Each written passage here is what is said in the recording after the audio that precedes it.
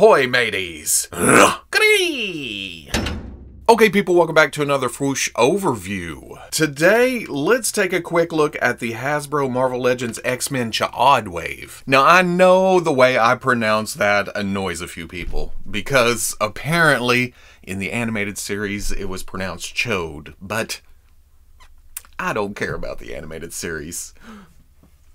Blasphemy! When I was a kid and the Starjammers would appear, I would always read it as Ch'od. C-H apostrophe O-D.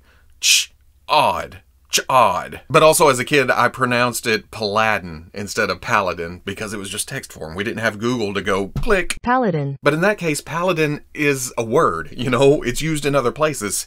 Ch'od is a name an alien name on top of that. So it's going to be pronounced differently, just like a lot of proper names. Am I focusing on that too much instead of getting right to the figures like I'm supposed to? Now, it's been a little while since I've gotten a whole wave of Marvel Legends, but this is X-Men.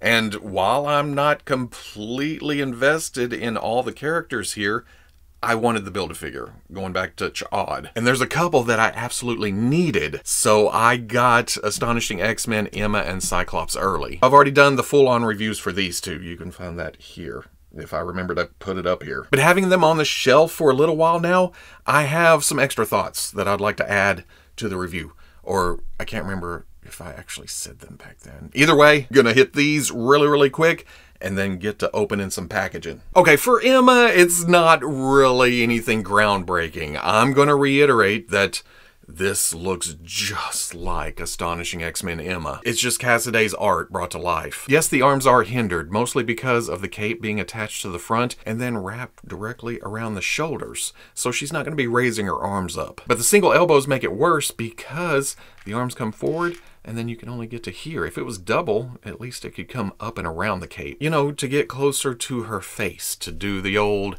hand to the temple telepath thing. I still plan on doing a cloth cape. I'm told that if you pull the cape off here, you're left with big old rectangle peg holes, but I've got to try it. But more than that, I want to see a diamond form Emma. I want to see this in translucent plastic, which would really just be visible here, here, and here. The rest would still look just like this. But I would like to have some kind of physical representation of her power, and that would be the perfect way to do it. And then for Cyclops, the longer he sat on the shelf, the more I realized he is a bit short. I would have liked to seen just a little more height. In fact, I think it's mostly in the torso. If it had extended up a little more, bring the shoulders up, that of course the top of the head moves when you go with the torso but it would have brought the hands up a little bit leave the legs where they are and it would have been perfect. As is, this is still my favorite Cyclops. This one is on the top of the X-Men shelf. In the review, I talked about this being a removable piece, and it had this little energy smoke effect coming up off of it. I think I talked about snipping it off, and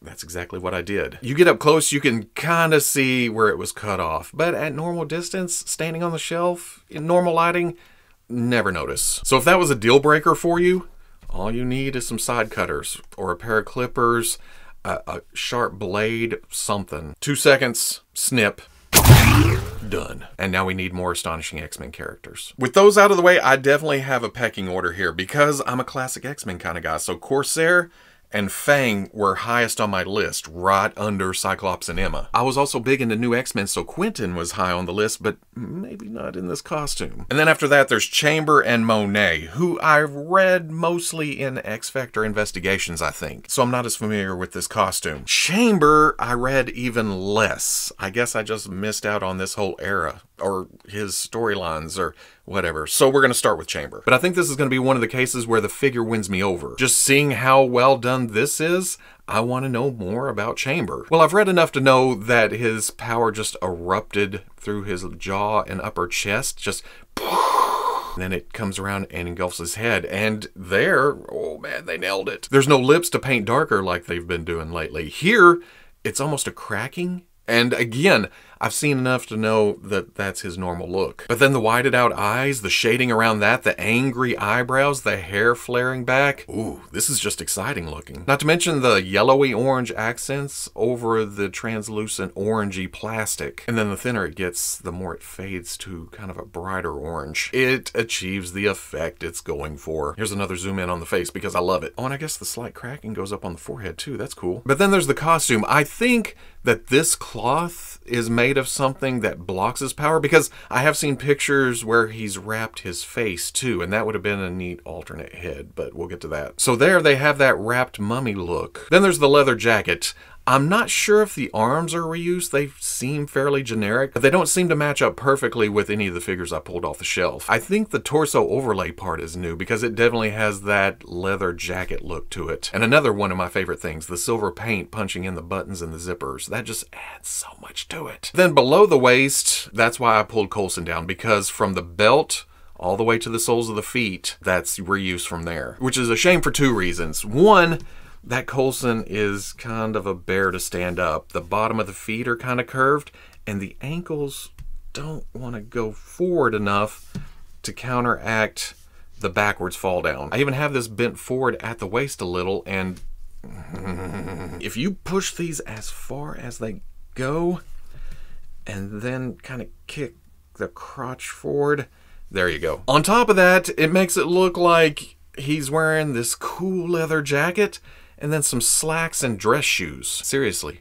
dress shoes. Along with the arms hanging too low, the bottom of the sleeve is at the crotch and then the hands seem kind of big when you get this far away from it. Fury legs would have added slightly more height and some thickness to the legs. Or I've seen people suggest the Marvel Legends Luis. I love, love, love this but then you get here and it's not as impressive. None of that matters in action poses, except for getting him to stand, because once you bend the legs, you can't get the ankles forward enough to... Dang. I don't think I'd go full biker. Those legs seem too big. But does this? Oh, it does. That could be interesting. While the head's off, articulation-wise, ball at the top of the neck with a hinge going down. The fire fits the shoulders, so it's going to get in the way. There's some up. That's a lot of lava beard, so there's no down. Tiny bit of tilt, and then side to side about right there. Pin coming out to the shoulder rotates around. You're going to run into the fire there even. Then there's a hinge that goes to about right there. Swivel at the bicep. Double elbow. Oh, all the way up. Swivel at the wrist with a hinge in and out. Hinge mid-torso crunches to about right there. Arcs back, swivel at the waist, get to the legs. There's a ball at the hip, allows for this, this, and swivel at the thigh. Double knee comes up. Oh, all the way there too. Make fire come from here. Hinge at the ankle goes back. Forward is almost non-existent. And then front-facing pin for rocker. For accessories, there's two open clawed expressive type hands. And those pop right out and you can swap in two fists which I like a little bit better because they don't accentuate the length of the arms as much they still seem to hang low but Hmm. And then, like I mentioned, it would have been awesome to get another head with the wraps around it, with the fire suppressed, him hanging around headquarters or going about town or whatever. But again, the fire is exciting, although now that I called it a lava beard, I can't unsee that. For Monet, it's definitely a case of do not go with first impressions, especially when it comes to action figures, because I had some preconceived notions here that simply aren't true. In the promo images, the head looks small or the body looked big, one or the other, and now that I have it in hand, it's not as bad. Don't get me wrong, the head could probably be sized up slightly, but it's not bugging me near as much here. But there's also the first impression of getting it directly out of the package. At least with mine, this is what it looks like out of the tissue paper, out of the box. And I thought, huh. Then I realized she's crotch forward, she's hunched a little. So once I straighten the legs up and then crank the torso back into the right position, and then brought the head forward, not that much. Basically, getting the figure all straightened out, everything kind of fell into place. Another misconception I had was her size. Look at her next to Chamber. She's shorter. So I thought this was going to be a huge body, and it's not. The upper torso has a zipper, and then the X logo, and a collar that I don't think I've seen before. And then, oh, I thought that was part of the shoulder sculpt, but it's a softer piece with a ring going between the shoulder and the torso. And then the gauntlets are an overlay piece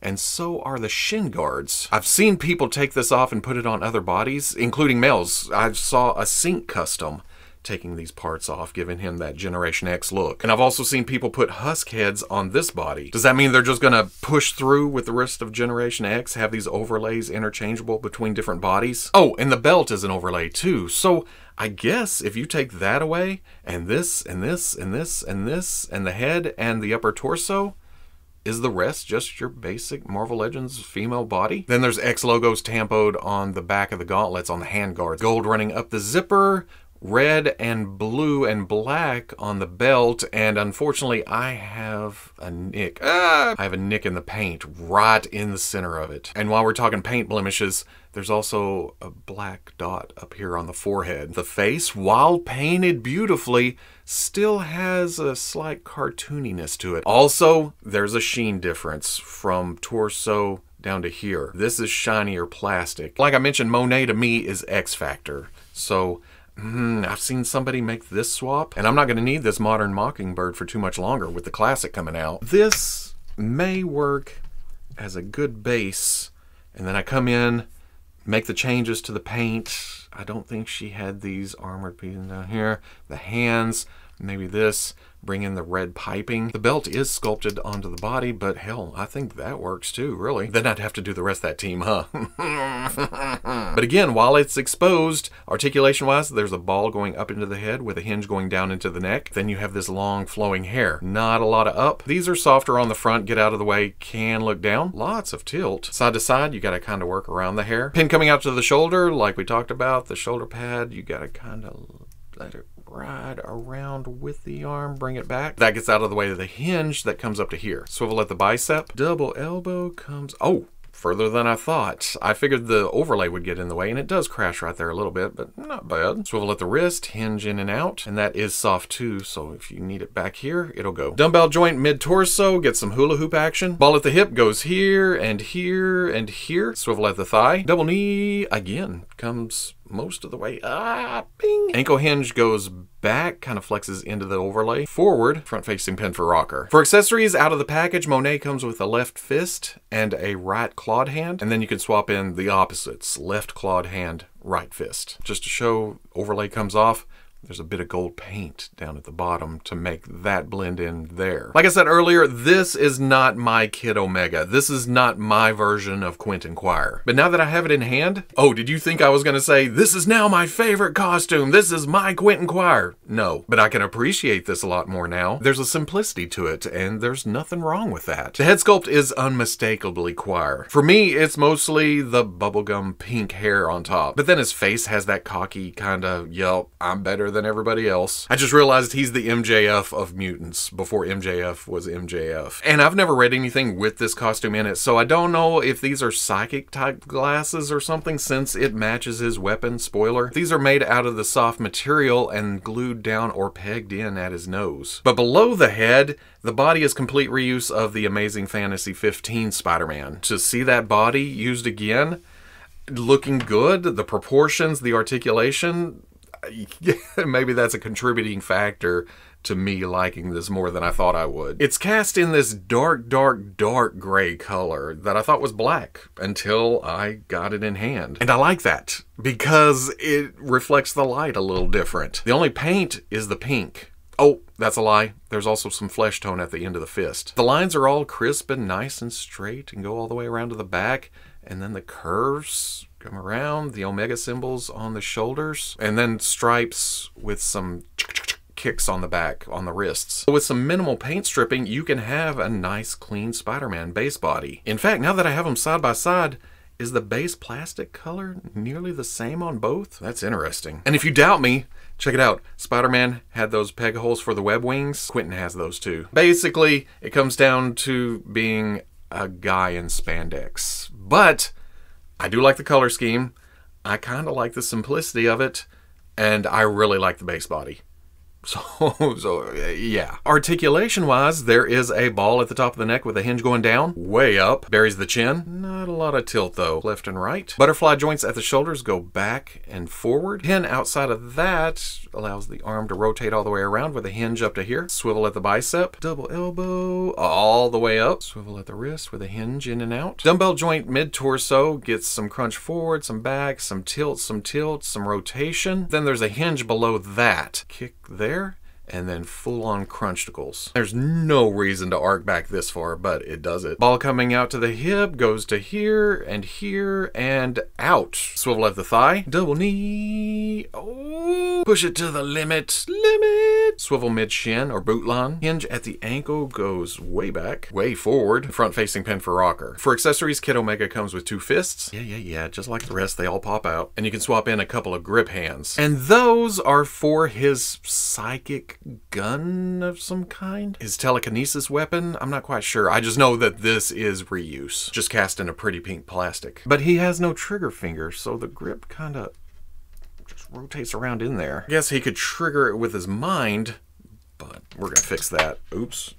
Unless I just lost the gun. Simple slice with the X-Acto blade. There we go. That looks better. And grips better. That's not bad. It adds a little something to a very simple visual. Never let it be said that I'm against simple costumes because Fang was higher up on my list. And that's essentially varying degrees of browns with some bone accents. And don't forget an angry hairy head. At first I thought it was this Sabretooth body and then I realized no, it's the color scheme making me think that. Sabretooth is broader and bulkier. This is actually the Spider-Man UK body and various other people like Electro. This has more costume details to it like the wrinkles pulling tight here and here and down at the knee. But it has been updated with pinless joints. Have some more little folds on the ankles and on the back of the hands. And then some deeper grooves like across the back and the butt crack. Then all the strings of bones or claws or teeth or whatever they are it's all separate overlay pieces. The belt you can move around. You can raise it up if you want. It's only held in place by the groove of the waist articulation. For the necklace, it's a separate piece, just plugged into a hole here in the back. But I've got it held down with the beard right now. If you let it go, it wants to pop up a little bit, kind of float above the shoulders. So that may be a glued down type situation. Down at the legs, out of the package, they were right there. They're kind of stuck, but kind of like uh, Jim Lee Cyclops. If you get too rowdy with it, they can get out of place and they fall down around the ankle. They kind of snap into the cut joint there. It's the forearms that were down around the wrists when I got them out of the box. There is a sculpted groove right there that helps it stay up because once I got it into position, again, if you're rubbing across it or trying to get all crazy with it, it will fall down. With those all being overlays, hopefully someday we'll get Wolverine in this costume. When this was first announced, I saw a lot of comments asking why there's not an alternate Logan head to get that out of the way. That's because this body is completely wrong for Wolverine. Then again, Fang is listed at about Wolverine's size, so this may not be the best body for this character. But if you take the bone pieces off and put it on here, give him a paint job, Hmm. The fang head we do get is nice. The hair coming back, the pointy ears. Like I always say, I'm not a huge fan of the open screaming mouth, but you can see the fangs on Fang. and then the rest of the face is kind of animalistic, almost werewolf. The head seems to be slightly out of scale with that, running on the small side. But like most figures, once you get in an action pose, it's not as prominent.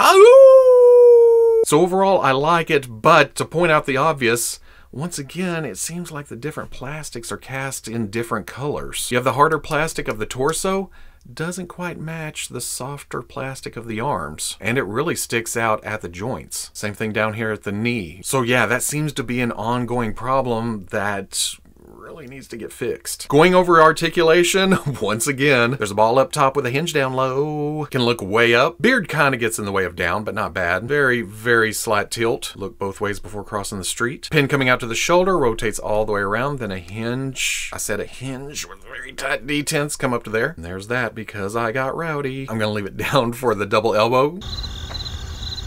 Swivel at the wrist with a hinge in and out. Crunch-tastic. Arc backerific. The belt does hide the swivel at the waist that turns side to side. Ball at the hip, high kicks, and not a lot of back, and not a lot of out. That's it. Swivel at the thigh, double knee, bends back. Swivel at the boot, once again hidden by that overlay. Hinge at the ankle goes back. Forward, front-facing pin for rocker. For accessories, Fang has big, open, expressive hands. I think there's slight little claws at the end of the fingers. Just barely. And then there's two fists, but I'm not going to use those. It's Fang. He's going to have these hands. And then finally, there is Corsair, space pirate extraordinaire, leader of the Starjammers, father to the Summers brothers, fashion icon. Look at that mustache. Fittingly, Corsair uses the Vulcan body for the most part. Same shoulders, same arms, same legs, same feet, same crotch pieces because genetics. Different torsos. The muscles do not line up here. Vulcan has a lot of these little bumpies.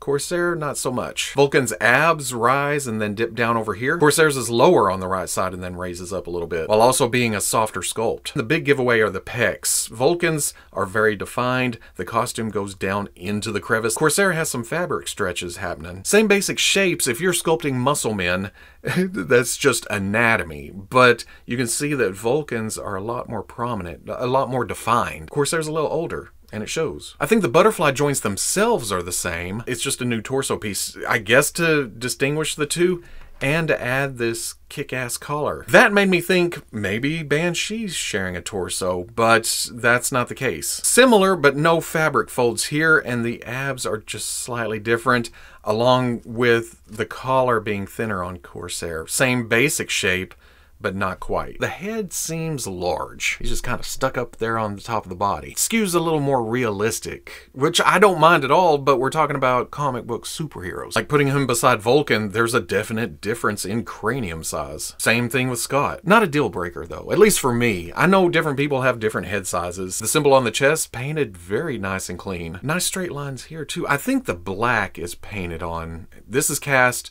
this is paint, and there's not a big difference there. Also a nice straight line here running all the way around. But the differences between the different plastics isn't as noticeable here as on Fang or Vulcan, really. Vulcan had the darker knees. Not the case. Well, okay, maybe just a shade different, but it's not going to be noticeable under regular light. And then you have the blue of the overlay belt with some gold painted on very nicely back there. And then the blue popped collar moving up to the very handsome head. Look at that hair just blowing in the breeze. The sideburns, the mustache, lips may be slightly dark like we've been seeing a lot lately. I guess there could have been shoulder pads, but the big thing that jumps out at me is the red bandana. I think of the belt, the collar, and the headband matching, even though he's been depicted with a red headband. Still, classic goodness right there. Ooh. Need more Starjammers. For articulation, guess what? There's a ball up in there. There's also a hinge. Can look up, down all the way. Ooh, not bad tilt. Well, I guess it's not so much tilt as it is rotate. Look both ways before crossing the galaxy. Butterfly joint goes back and forward, and it's another one of those where as you raise the arm up, the further you can go with the butterfly. Pin coming out to the shoulder, rotates around and then hinges up. Swivel at the bicep. Double elbow. Does the pirate glove get in the way? Not much. Swivel at the wrist with a hinge up and down because trigger finger hand. Very crunchy, very archy. Swivel at the waist, hidden by the belt, but is revealed the more you move it. Ball at the hip, comes up to 90 and back a little and out. Swivel at the thigh and, oh, you can see the black is painted. There's red plastic under there. Double knee. Oh, yep. Bing. Swivel mid shin. Looks like it's not completely seated. The left doesn't have that problem. I may have to pop that apart. Hinge at the ankle goes back, forward, front facing pin for rocker. Out of the package, Christopher Summers has two trigger finger hands, and I forgot to point out that the left is also up and down hinge. That's because it comes with a space pirate gun. It's kind of futuristic, but it's also very high seas. No cutting here. Goes right into the hand. Shiver me asteroids, matey. It doesn't stop there. We are in deep with the classic goodness, like this space cutlass. Kinda loose in the grip hand, but works great with the up and down hinge. Ooh. Walk the space plank. Matey. If you don't want him holding the sword, there's also a little loop here on the belt that acts as a sheath, so you can store it away in there if you want to. And if you're doing that, you can swap in these two hands, but why would I want to do that? He's got the awesome weapons to hold. I don't want to hide away the few accessories in this wave. Unless you consider Build-A-Figure pieces accessories. If that's the case, ba-boom! Let's see, this is going to be the left leg, and the right. Plug the right arm in. Left goes on the left because anatomy. It seems like a little itty bitty head ball, but the head isn't the biggest either. So you simply plug that on and you're done. And here's Ch'od to go with the Starjammers, to go with Corsair. This is based on the Abomination body, which has been both a Build-A-Figure, and I think this one came in a box set. Same shoulders, the same upper arms, the same torso, and then the rest of the body too. Same crotch, same legs, same feet. The hands are kind of the same, well I say that, not really. I was going to say they were the same shape, but these are definitely different with the scales running all the way down the back and the fingers. And then the lower arm's been modified to continue that scale, that layer look all the way up to the elbow and to add these fins. And the heads are different too. Of course. Not a lot of paint going on here. It's relying a lot on the sculpt itself to cast shadows, to do its own shading. The high points do have some yellow overspray on them, just to give it some highlights, but you get back and it doesn't really jump out at you. The backbone sticking out is painted a different color. That's odd. I expected to turn it over and see no paint on the back, but there's almost more paint on the back. The belt is a big leathery textured overlay piece with some gold paint for the buckle. And then the head looks good. It looks like Ch'od. There's the red eyes poking out from the darkness, the teeth showing a little bit, the ear fins. The jaw hinges open and you can see a black tongue in there and it's just like, hey, everybody, where'd you go? I'm looking for you. Very soft so that's not going to poke your eye out. But it's not without its gripes. One, it could be bigger. A lot of renditions has him just lumbering, towering over the rest of the Starjammers. I feel like this needed more width. The shoulders out to here and just... Two, it has the same problem as the Abomination body because it uses the Abomination body. The legs are spread out. There's a lot of gap here, less torso. The proportions are kind of wonky. I guess three could be the lack of paint, but I already talked about that. Four, there's too many fingers, as in four fingers and a thumb. There should be only three fingers and a thumb, depending on what you call fingers, okay? I may have to come in here and just cut and sand and see what I can do there. Five, he doesn't have his gun thing. That would have been a pretty sweet pack-in, especially considering the amount of accessories each figure got, as in, each one didn't get a lot. They did include Cr'reee! That's how it's spelled. Cr'reee! And you can have it by itself just hanging out, because it has a nice standing position, or you can perch it up on Ch'od's shoulder. It won't work right here because I'm angled down, but you stand them up, you stick it out there, broad shoulder, get some balance to it. There you go. Articulation, like I mentioned, there's a big old opening jaw. Anybody have any fish food? Is a little loose, it falls open, but the further you have the head down, the more the body itself holds it shut.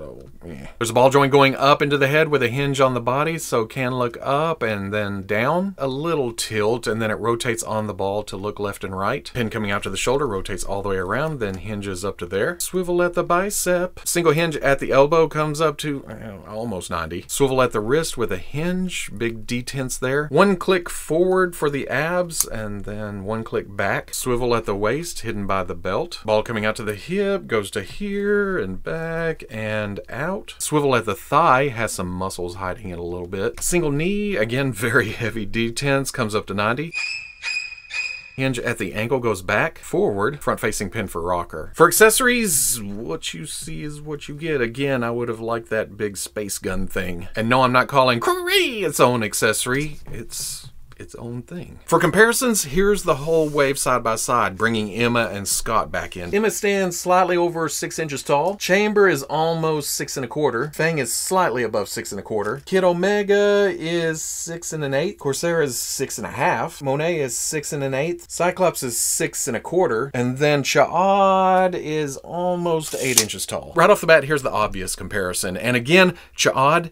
He's big, he's taller, he's got some bulk, but oh, it would have been cool to see him just huge. Then here's the Summers family altogether. Again, this whole new sculpt for Cyclops does run small. I wish he was as tall as Corsair and Vulcan. And even though the Havoc figure isn't that old, I feel like it already needs an upgrade. Or I guess I could just customize it because it's a black body with some circles on the chest. And it makes it look even more outdated when I bring in the animated series Cyclops. Fang looks great next to Gladiator, but speaking of upgrades, I'd like to see a new version of him too. I'm not quite sure who to compare Chamber and Monet with, so I'm going to stick them with Vulcan and Wolverine. Here's Kid Omega next to my custom Quentin Quire and my custom Beak. But to give you a better idea of scale next to retail figures, here's Vulcan and Cyclops again. So at the end of the day, it's an X-Men wave. It's my steak and potatoes. But it's not my favorite X-Men wave. There's characters that I'm not really invested in. This version of Monet, perfectly acceptable, just not a costume I know her for. Same thing for Kid Omega. I like this look more now that I have it in action figure form, but